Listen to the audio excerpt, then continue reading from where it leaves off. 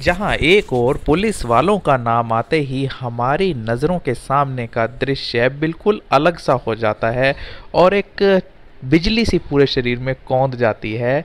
वहीं कोरोना काल में पुलिस वालों ने कोरोना वॉरियर्स की भूमिका निभाई है और इन्हें फ्रंट लाइन वर्कर्स का नाम भी दिया गया है। 2020 हो या 2021 का लॉकडाउन।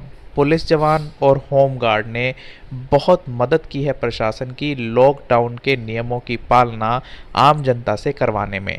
ऐसे में कई पुलिस वालों की कई कई घंटों की ड्यूटियाँ चौक पर, चौराहों पर या फिर मेन पॉइंट्स पर लगाई जाती है, जहाँ पर उनकी ये ड्यूटी होती है कि ये चेक करना कि वाकई जो कोरोना की गाइडलाइंस हैं, जैसे कोई मास्क ना लगा कर घूम रहा हो या फिर कोई वाहन ना तेज़ से चला रहा हो या लॉकडाउन में बाहर ना निकल रहा हो, ऐसी ड्यूटियाँ उनकी लगती हैं।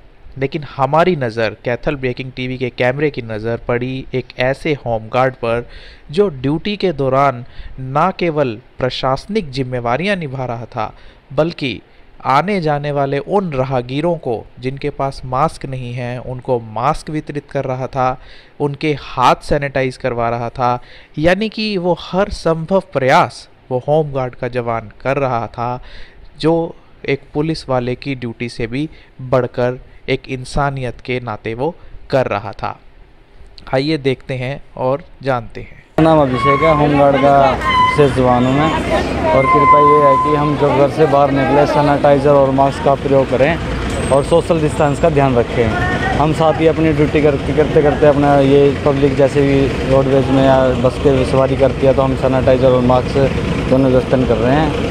और जहाँ तक ये है कि कोरोना महामारी में ये विशेष ध्यान देना चाहता हूँ सबको। मैं यही कहना चाहता हूँ मेरी तरफ़ से कि आप सोशल डिस्टेंस का और मास्क और सैनिटाइजर का प्रयोग करें। ऐसा मन में क्यों है कि एक तरफ़ से आप ड्यूटी कर रहे हो दूसरी तरफ़ से जो भी बस स्टैंड पर आ रहा है या जा रहा है आप उनको हैंड सैनिटाइज करवा रहे हो मास्क दे रहे हो। ऐसा मन में क्यों आया? ऐसा मेरे मन में नहीं आया क्योंकि मैंने मास्क और सैनिटाइजर अभी कुछ दिन पहले ही बांटे थे और इस कारण हुआ कि कोरोना जैसे केस बढ़ रहे हैं हमारी शहर में बढ़ रहे हैं केस तो हम साथ अपनी ड्यूटी कर रहे हैं। ड्यूटी करते करते हमने ये मैंने ये सोचा है कि मेरी तरफ़ से कि जैसे हमें बस स्टैंड पर ड्यूटी है तो मैं सच्चों में मास्क और सैनिटाइज़र और साथ ही साथ ही ड्यूटी होती रहे और साथ ही साथ अपनी समाज की सेवा करता रहूँ। तो लोगों से क्या अपील करना चाहेंगे कोरोना वायरस को लेकर? लोगों से मैं ये अपील करना चाहूँगा स्पेशल कृपया हाथ जोड़ के सबसे विनती है कि सैनिटाइज़र और मास्क का प्रयोग करें। इस कोरोना महामारी में हम एक दूसरा का साथ देंगे।